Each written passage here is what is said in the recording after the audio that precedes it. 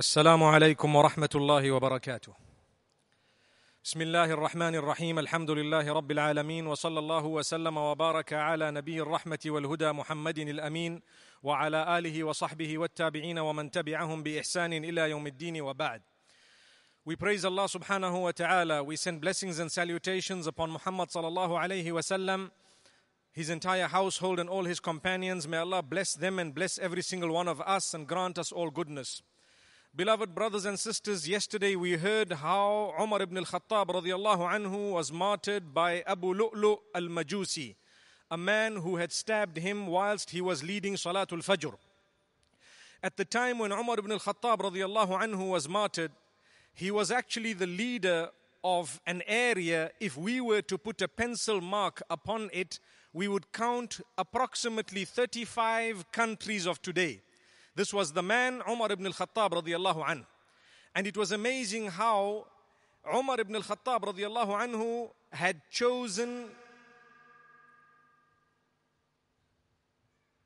It is amazing how Umar ibn al-Khattab radiallahu anhu had chosen a certain group of people and inshallah we will come to see this in a few moments in order to select the one who would succeed him.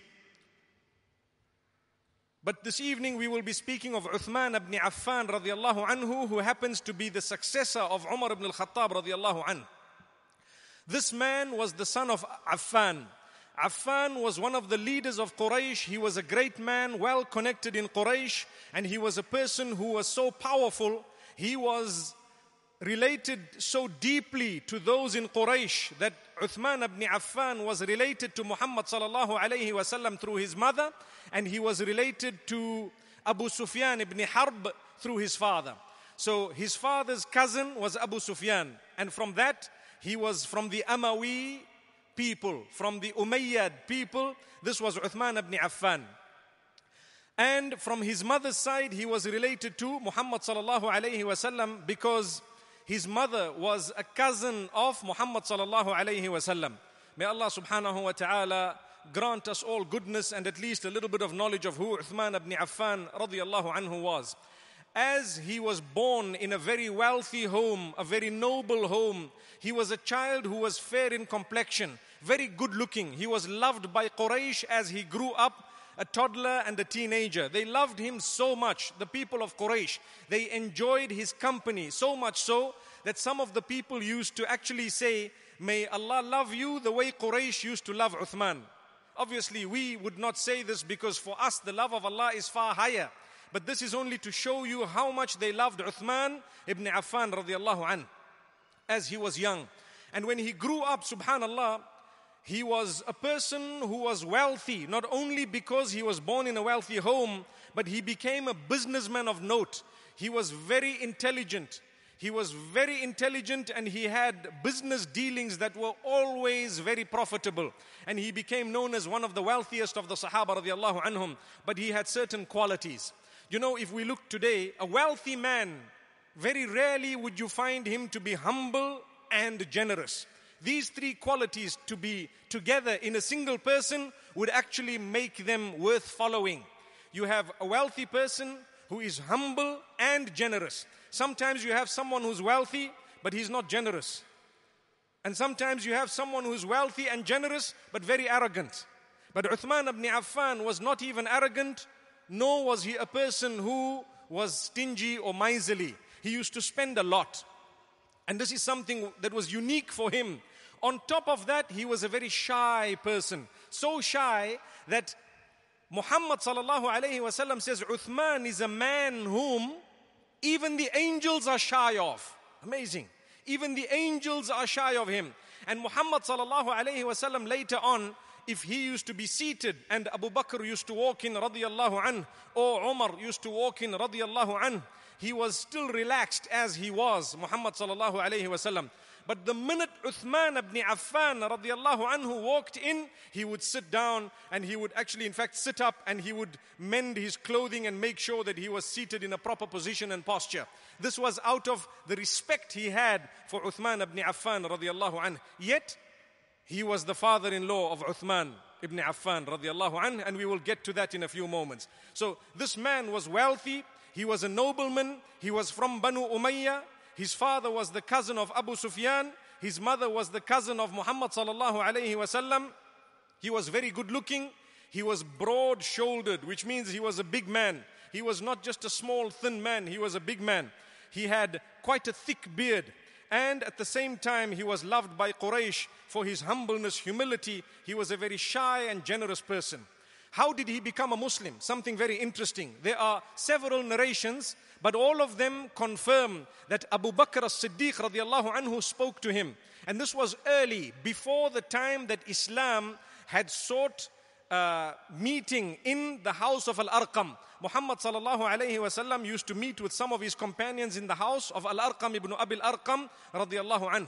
Prior to that, Uthman had accepted Islam because Abu Bakr as-Siddiq radiallahu anhu spoke to him and told him, Oh Uthman, you are an intelligent man. You are a sharp individual.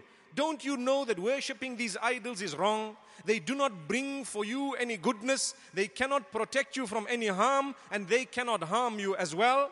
So, don't you realize and understand that this is all wrong? Do you know that there is a prophet in our midst who has called us to worshipping our Maker alone?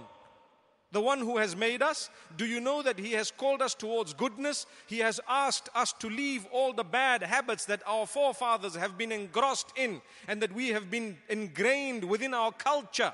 And Uthman ibn Affan looked at him and says, Who is this prophet?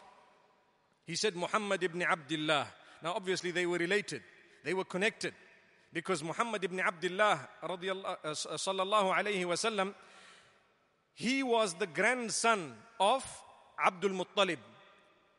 Abdullah ibn Abdul Muttalib. That was his proper name. So Muhammad ibn Abdullah ibn Abdul Muttalib. And Uthman ibn Affan's mother, her name was Arwa binti Qurayz. And Qurayz was the daughter of Al Bayda binti Abdul Muttalib, which means they were cousins with Muhammad sallallahu alayhi wasallam. So he said, You're trying to tell me that As-Sadiqul Amin is the one who is now saying he's a prophet? As-Sadiqul Amin was the title of Muhammad sallallahu alayhi wasallam, the truthful, the trustworthy. So Abu Bakr said, Yes, indeed.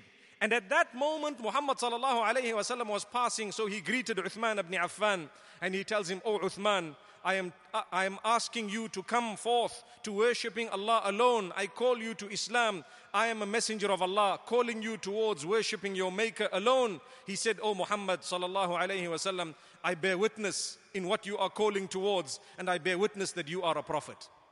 No speech. Nothing else. Immediately, no questions asked, nothing happened. He just said, I bear witness that there is none worthy of worship besides Allah, and you are indeed a messenger of Allah, subhanahu wa ta'ala. This was Uthman ibn Affan, radiallahu anhu.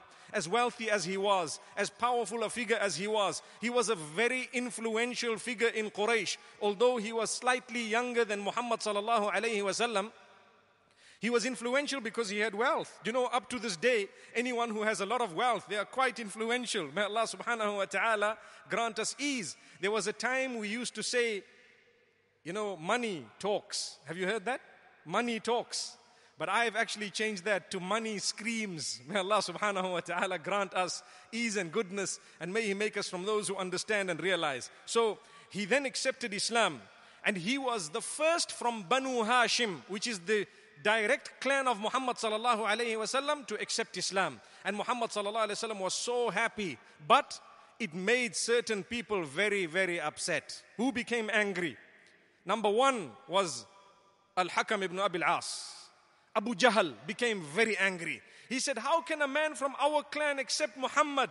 And this man is from a noble home. This man is from a noble home, Uthman ibn Affan. How can he accept Muhammad ibn Abdullah as a messenger of Allah subhanahu wa ta'ala and quit our ways and our habits? No ways, I'm not going to leave this man. So he started persecuting his own relative and he told him, I am not going to leave you, O Uthman, until you leave Muhammad. And Uthman ibn Affan radiallahu anhu says, I will never ever quit Muhammad sallallahu alayhi wasallam. I'm not going to quit my deen. Whatever he is calling towards is correct, it is right. Do not let your position, your power, your authority cloud your understanding of what is right and wrong. So Uthman ibn Affan radiallahu anhu, there is an incident that occurred at that particular time, and it was very interesting because he married the daughter of Muhammad sallallahu alayhi wasallam. And that was something that Muhammad sallallahu alayhi wasallam was very happy about. Because Muhammad sallallahu alayhi wasallam's daughter, Ruqayya binti Muhammad ibn Abdullah sallallahu alayhi wasallam, she was engaged to the son of Abu Lahab, known as Utbah ibn Abi Lahab. And Abu Lahab was interested in getting this girl into the home because she was known as a very, very good girl, brought up by Khadija bint Khuwaylid radiallahu anha and Muhammad sallallahu alayhi wasallam. She was such a good girl in Quraysh that she was known because of her character, nobility, conduct, chastity, and so on. But what happened is Abu Lahab decided to go against Muhammad sallallahu alayhi wasallam to the degree that you know Surah Abu Lahab or Surah Abi Lahab was revealed. تبت يدا أبي لهب وتب ما أغنى عنه ماله وما كسب سيصلى نارا ذات لهب That surah was sent down to Muhammad sallallahu alayhi wasallam admonishing Abu Lahab because he had made a statement to Muhammad sallallahu alayhi wasallam saying Tabbal laka ya Muhammad. Destruction be upon you, O Muhammad. Is this why you gathered us here to tell us that there is one God and what we are worshipping is wrong? So Muhammad sallallahu alayhi wasallam said yes. And indeed the people started scoffing and laughing at Muhammad sallallahu alayhi wasallam. But Allah revealed Surah Abi Lahab where Allah says, Destruction be upon Abu Lahab, both of his hands be destroyed. So what happened is the little children of Makkah began to read these verses. They were so sweet in, in, in their poetic form. In fact, the Quranic form, so sweet and so easy to memorize that the children who were running in the streets and the gullies of Mecca were busy saying Tabbat yada abi lahabin wa tabba. And it infuriated him so much that he told his son to release Ruqayya binti Muhammad sallallahu alayhi wasallam. I don't want you to marry this woman anymore. So they were engaged, but that engagement was broken. And when that happened, Uthman ibn Affan radiallahu anhu went to Muhammad sallallahu alayhi wasallam offering himself, asking for the hand of his daughter in marriage. And Khadija bint Khuwaylid radiallahu anha was so happy. Muhammad sallallahu alayhi wasallam was delighted and he got his daughter Ruqayya married to Uthman ibn Affan radiallahu anhuma. May Allah's peace and blessings be upon both of them.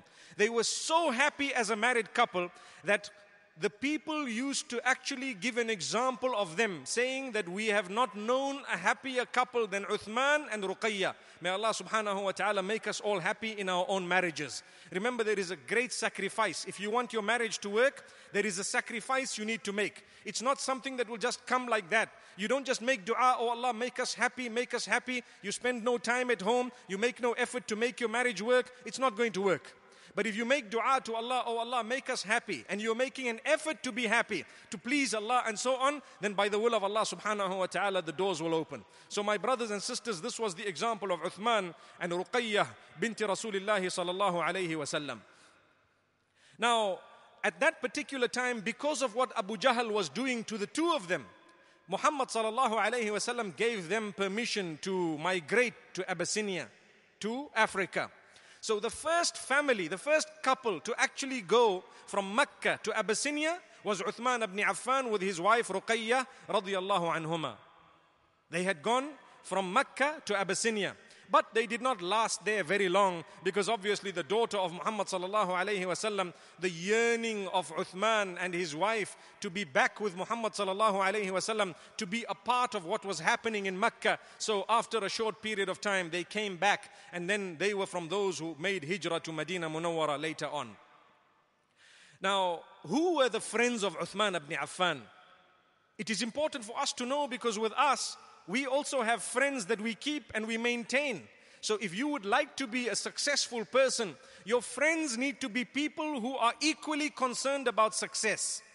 So who were his main friends? Number one, Abu Bakr as-Siddiq.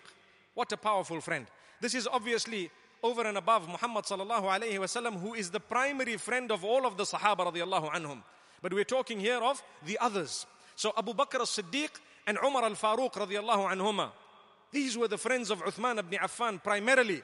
And then the others, the noble from amongst the Muslimin, from amongst those who had accepted Islam from Quraysh. He befriended all of those and he took from them goodness. And he was always so humble, so humble as a human being that nobody would tell how wealthy he was. Uthman ibn Affan, radiallahu anh, may Allah subhanahu wa ta'ala grant us goodness. He was also a person who could read and write. So he was not an unlettered person as the norm was at the time, but he was one of the fortunate few who could read and write. And this is why, if you recall, at the time of the death of Abu Bakr as-Siddiq radiallahu anhu, he called Uthman ibn Affan and told him to write, because Uthman could write. May Allah subhanahu wa ta'ala grant us goodness. We can read and write but do we use that ability to actually increase our knowledge of Allah and His Messenger and to become closer to Allah? That's a question that I still have to answer, and so do you. And we will always have to answer this. And Allah subhanahu wa ta'ala will hold us responsible for the gifts that He has bestowed us with. So, Uthman ibn Affan, radiallahu anh, the hero that we are speaking about today, he was a man who spent so much of his wealth that nobody could compete with him quantity wise. We spoke about percentage wise. Percentage wise, number one was Abu Bakr as Siddiq radiallahu anh. He gave 100% of what he had. But quantity wise, the rich man as Uthman ibn Affan, let's look at what happened during the Battle of Tabuk, just prior to the Battle of Tabuk. The Prophet ﷺ sent a message to Mecca and he got up on the mimbar in Medina Munawwara and he asked for donations towards the Battle of Tabuk. And the Sahaba radiallahu anhum started coming with their various donations. And here comes Uthman ibn Affan radiallahu anh. It is interesting how mention has been made of this in so many narrations. Some of them take the figure, bringing it as high as to a thousand animals that Uthman ibn Affan radiallahu anhu brought. 950 camels all at once. Subhanallah. 950 camels and 50 horses. They say one third of the entire expense of that entire army was provided by one man. And his name was Uthman ibn Affan radiallahu. As humble as he was, he did not speak unnecessarily. He was a quiet person. He was not one of the big lecturers. He had few words, but he was a humble man. So generous he was. On top of that, he brought 1,000 gold coins and placed them in the laps of Muhammad sallallahu alayhi wasallam. Uthman ibn Affan. Muhammad sallallahu alayhi wasallam, this was his son-in-law. His son-in-law. And he was so happy that he said, ما ضر عثمان ما فعل بعد اليوم. Nothing will harm Uthman from whatever he does after today. He will still have paradise. Subhanallah. So Uthman ibn Affan was told already that you will have paradise no matter what you do. But he was still a very humble person and he continued serving Islam and the Muslims, our hero. Allahu Akbar. May Allah grant us the, the unity with these people, inshallah, in the akhirah. My brothers and sisters, Uthman ibn Affan did not take part, did not take part in the battle of Badr from amongst the Sahaba radiallahu anhum. He was one of those who stayed behind upon the instruction of Muhammad sallallahu alayhi wasallam. Why? One might ask, the most important battle was the battle of Badr. Those who took part in the battle of Badr were known as important people. They were known as people of paradise. Why didn't Uthman take part? Well, Muhammad sallallahu alayhi wasallam told him, Oh Uthman, your wife is not well at all. And that was the daughter of Muhammad sallallahu alayhi wasallam, Ruqayya binti Muhammad sallallahu alayhi wasallam. She is not well at all. You take care of your wife. Don't worry. We will go out in the battle of Badr. So Uthman ibn Affan did not go with them. And when Muhammad sallallahu alayhi wasallam came back from Badr, he found that his daughter had passed away. He found that his daughter had passed away. And Uthman ibn Affan was very, very sad. Not questioning the decree of Allah, but saddened because of the demise of his own wife, the daughter of Muhammad sallallahu alayhi wasallam. Muhammad sallallahu alayhi wasallam considered him from amongst those who took part in the battle of Badr and granted him from the spoils and his name was written as being from amongst those who took part in the battle. And on top of that, what we would term a cherry on the cake was that Muhammad sallallahu alayhi wasallam got him married to another daughter of his known as Umm Kulthum bint Muhammad sallallahu alayhi wasallam. So this is why Uthman ibn Affan, the only human being that we know of to be married to two daughters of a prophet of Allah subhanahu wa ta'ala. No prophet before has had both daughters married to the same man, one after the other. Subhanallah. Besides Uthman, and this was one of his virtues. He was known as Dhunnurain, a person who owned two of the lights, two noors. What were these two noors? Ruqayya binti Muhammad sallallahu alayhi wasallam and Umm Kulthum bint Muhammad sallallahu alayhi wasallam radiyallahu anhuma. So he had both of those as wives. This was Uthman ibn Affan radiallahu anhu. What a powerful man. What a powerful figure. Then we need to tell you of something else that happened to this man. Uthman ibn Affan radiallahu anhu, the wealthy businessman, the Sahabi, the very shy person, the man whom even the angels were shy of.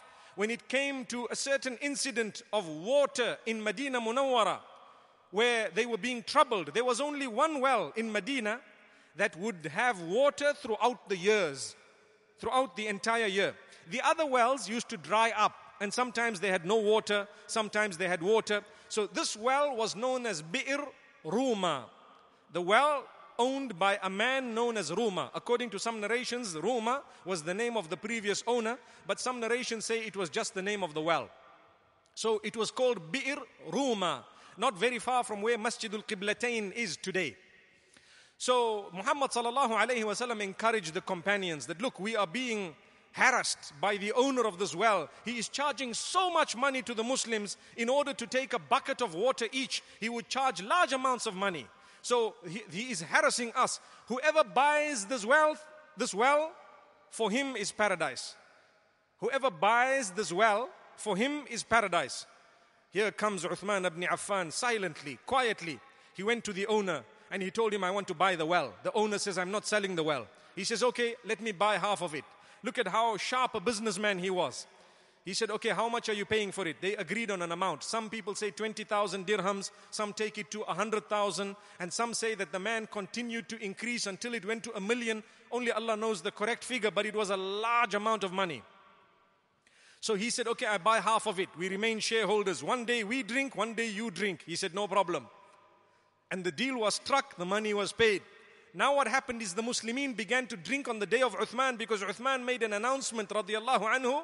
He says, I have purchased 50% of this well and I have it one day and he has it one day. So you people can drink on my day for free, no money. So people used to come and they used to fill everything they needed and the next day no one was there.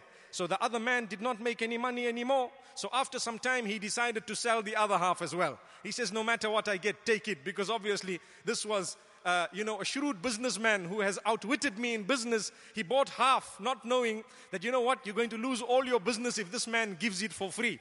I don't think they would have believed that someone would actually give this huge business deal out as an endowment for the Muslims as an endowment for the Muslims. Now, I want to take you through what happened here. Uthman ibn Affan purchased this well. Now it is known as Bi'r Uthman. The well of Uthman. The whole well belongs to Uthman. And he made it waqf, meaning endowed it for the Muslims. The surrounding land went with the well. The people now came every day and they drank. Muhammad says, The one who purchased the well, for him is paradise. I want to tell you what happened. Today we are sitting in 2014 or 1435 Hijri. Today, there is a huge bank account by the name of Uthman ibn Affan in Saudi Arabia. And there are hotels that are built just near the Masjid al-Nabawi under the name of Uthman ibn Affan. The endowment gives back to the poor Muslims more than 50 million riyals a year. Today, I'm talking about today. Where did it start from? That well. The surrounding land started producing produce because the water was there. And what happened is the dates that came were all for the Muslimin. So the leaders of the Muslims over the years looked after it and made sure it was distributed and it went far and wide. And thereafter, it continued up to the recent times when there is a special ministry known as Ministry of Endowments, which looks after the endowments of the Haramain. And one of them is this endowment of Uthman ibn Affan. Those dates, not only do they go across the globe, not only are those dates sold and the money goes back to the coffers of the Muslimin and into that account known as Waqf of Uthman ibn Affan, but with that they continued generating income generating uh, projects and they have hotels and so many other things where the income goes to that particular endowment. Amazing. So up to this day, it is bearing fruit. This was the well of Uthman. And this is why Muhammad says, You buy this, for you is paradise. To this day, it is a sadaqatun jariyah. It is something that continues. So when you go to Medina Munawwara, you need to know as you go to Masjidul Qiblatain, if it is on your left, on the right side, you will find an area, a beautiful, posh area of Medina. Around there, you may ask the people, Where is the well of Uthman? And perhaps you might go and see it. May Allah subhanahu wa ta'ala grant us ease and goodness. Obviously, the virtue would only be that of understanding the value of Uthman ibn Affan radiallahu anh. May Allah subhanahu wa ta'ala take us to Medina in order to read Salah in al Masjid al Nabawi. And may Allah subhanahu wa ta'ala accept it from us. Ameen. Another very interesting incident in the time of Uthman ibn Affan radiallahu anh was during the Hudaybiyah, during the Treaty of Hudaybiyah, he was the one who was sent in from the outskirts of Mecca to speak to Quraysh. Do you know one of the reasons why? He was very closely related to them. So they wouldn't be able to harm him. He was very closely related to those people, to the leaders of Quraysh. So they sent Uthman. News came that they have killed Uthman. And this is when all the companions had pledged to Muhammad that even without weapons, we are going to fight Quraysh if they have killed Uthman ibn Affan. And this was known as Bay'atul Ridwan. This was known as the pledge where Allah subhanahu wa ta'ala became pleased with those who were more than 1,300 companions who were ready to fight Quraysh because of the blood of Uthman ibn Affan. Just as well, rumor, it was just a rumor, and it was clarified that he was not martyred. Another very interesting incident in the life of Uthman ibn Affan radiallahu anhu. He was the one who extended Al Masjid al Nabawi. He extended it so much. At the time of Umar, it was renovated. But at the time of Uthman ibn Affan radiallahu an, it was extended a lot. He purchased some of the land nearby and he extended it and he made it up with brick and silver. This was Al Masjid al Nabawi by Uthman ibn Affan. To this day, you find the door of Uthman ibn Affan radiallahu an in memory of this great Sahabi. May Allah subhanahu wa ta'ala accept it from him and may He use us to follow these footsteps. Uthman ibn Affan, at the time of Umar ibn al Khattab radiallahu anhu, something interesting happened. This is a very touching story. Very touching. There came a year of drought where it was known as Amur Ramada. It was the time of Amirul Mu'minin Umar ibn al-Khattab radiallahu anhu. The drought was so severe that the people were hungry. They were, they were literally dying of hunger. And Umar ibn al-Khattab radiallahu anhu told him, pray to Allah, pray for rain and so on.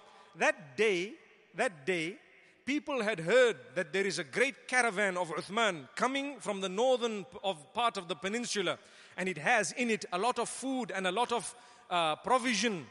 And sometime later in the afternoon, a huge caravan consisting of 1,000 camels pitched up into Medina Munawwara, and it literally stopped at the door of Uthman ibn Affan radiallahu anhu. A load of camels, and the people had come out and they started helping getting the produce down and all the merchandise, most of it was actually food stuff. And Uthman ibn Affan emerged, and the businessmen of Medina Munawwara who had the money, they emerged and they said, Oh, Uthman, we want to buy from you. The people are dying of hunger. We want to buy from you this, from this food. We will give you for every dirham that you spent, two dirhams, which means we give you 100% profit. He said, No, I, someone has offered me more. So they said, Okay, we give you more. He said, No, someone has offered me even more. So they said, Okay, we will give you even more. And they continued. He said, Sorry, someone has offered me more than whatever you people have offered. They said, It cannot be. We are the business people of Medina Munawwara. We know. We are the first to come to you. Who else has spoken to you? Nobody would be foolish to give you so much. He said, Allah has promised me that He will multiply it tenfold for me. They looked at him shocked. They said, What do you mean? He said, I make you witness that all these thousand camels you see here, I have donated them for the Muslimin. They can have them. I don't want a single dirham or dinar. This is between me and Allah. You people may have this. This was Uthman ibn Affan. 1,000 camel loads of food. And he just donated it just like that. Imagine containers of goods coming in. And you say, This is for fuqara al muslimin. This is for the people who are needy. Whoever needs it, come and take from it. Don't worry. This is yours. This was Uthman ibn Affan, the great hero, the man who spent. Subhanallah. Later on, he took over after Umar ibn al-Khattab radiallahu anhu as the leader. And this was also something very interesting. Umar ibn al-Khattab radiallahu anhu had appointed a group of men who were from amongst the remainder of the ten who Muhammad sallallahu alayhi wasallam had said, You are from those who will earn paradise. So Uthman ibn Affan radiallahu anhu was appointed from amongst them and allegiance was pledged for him and they all pledged allegiance to him including Ali ibn Abi Talib radiallahu anhu. He confirmed that Uthman is the leader and everyone confirmed that Uthman is the leader. And Uthman ibn Affan, he was such a pious man. At his time, they say the people were good, relations were good. Anyone who did not have, he provided for them. Sometimes with his own personal wealth, not necessarily the coffers of the Muslims. And so many countries had, or so many uh, different regions had now entered into the governorate of the Muslims. From amongst them, parts of Russia and Cyprus, Armenia and North Africa. So more and more areas of people had accepted Islam under the leadership of Uthman ibn Affan radiallahu anh. He was a person who had written the Quran or got it written in one dialect. Because at that time, as you know, Abu Bakr as-Siddiq radiallahu anhu had appointed Zayd ibn Thabit radiallahu anh to gather the Quran. He gathered it and they gave a copy to Hafsa, who was the wife of Muhammad sallallahu alayhi wasallam, the daughter of Umar ibn al-Khattab radiallahu anhuma. So what happened is Uthman ibn Affan, he received a complaint from Hudayfa ibn al-Yaman that I've been to different areas and people are reading the Arabic language in a different dialect. So why don't we sort the problem out? So Uthman ibn Affan appointed Zayd ibn Thabit once again with him a few others and told them, get the written parchments from Hafsa binti Umar radiallahu anha and write it down. We want it in one script. So they wrote it in one script. They got hold of all the others and they did away with them and he sent a copy of this script to all the different parts of the Muslim lands. And he told them, This is now the final version, this is what you will follow. At that time, there were no dots. You know, you have two dots on top of the ta, two under the ya, one in the jim. No dots at all. It was just written. Their Arabic was so powerful, they knew how to read it. So, what happened is, it cut down the difference of opinion completely regarding the dialects in which the Quran should be read. To this day, we have the Quran that we have in our midst written in what is known as Ar-Rasmul Uthmani, which means the writing that was confirmed by Uthman ibn Affan radiallahu anh. This was one of the great achievements of Uthman ibn Affan. But people become jealous. When we achieve a lot, people become jealous. And there are others who had a bad eye. A man known as Abdullah ibn Saba al-Yahudi, he was actually a Jewish man from Sana'a, from Yemen. And he had started a major, he had started a major issue against Uthman ibn Affan, claiming that Uthman had appointed all his relatives as people who were the leaders of the various lands of the Muslims. Yet, those were appointed by Umar ibn al-Khattab radiallahu anhu before Uthman. And Uthman had not even changed the bulk of them. But this was just a fitna. This was a way of instilling problem. Because the enemy of Islam saw that now the Muslims are growing. They have huge lands. The east and the west is all now turning to Islam. The best way to destroy the Muslims? Internal conflict. So they started creating hatred against Uthman, saying that Ali ibn Abi Talib anhu was supposed to be the leader. And yet Ali himself says, Uthman is my leader. Subhanallah. And after some time, they developed a great revolt against Uthman ibn Affan radiallahu anhu. But from amongst them, there was not a single Sahabi. And there was not a single child of any Sahabi. It was all people who had come later on. They were conned by this huge machine of propaganda that started off by Abdullah ibn Saba al Yahudi. And what happened as a result? They murdered Uthman ibn Affan after surrounding him 40 days around his own home in Medina Munawwara. This was a powerful man It is reported, and I'm going to end with this, that Uthman ibn Affan, the 40th day of being surrounded by these culprits, in his home. They did not allow food or drink into his house, yet he was the one who did so much for the Muslims. They did not allow him to go to the masjid, yet he expanded the masjid. They did not allow him drink from the same well that belonged to him at one stage that he had endowed to the Muslims. So at the 40th day, he slept for a while and he saw a dream. In that dream, he saw Rasulullah sallallahu alayhi wasallam, Abu Bakr and Umar radiallahu anhuma, and they told him, "Why don't you break your fast with us this evening?" And on that Friday, he got up, he was fasting. That was the day. The, the opening of the fast, he did not see in this life. He was martyred before that. While his Quran was opened, he was in his house, he was fasting, it was a Friday, and they came in and they brutally murdered him. May Allah subhanahu wa ta'ala protect us from the internal conflict amongst the Muslims. I would like to say, my brothers and sisters, be careful of those who instill hatred in you for your own brothers and sisters as Muslims. Be careful of them. This is the fitna that started at the time of Uthman ibn Affan. It continues to this day. People talk ill and evil about the companions of Muhammad sallallahu alaihi wasallam. They talk ill and evil about the leaders of the Muslims and the ulama. And amongst us, they instill hatred. The result will only be fitna and further division. May Allah protect us all and grant us a great lesson from the life of this beautiful hero, Uthman ibn Affan. May Allah's peace and blessings be upon him and us all. Wa sallallahu wa sallama wa baraka ala nabina Muhammad. Subhanallah wa bihamdih. Subhanaka Allahumma wa bihamdika nashhadu an la ilaha illa ant. Nastaghfiruka wa natubu ilayk.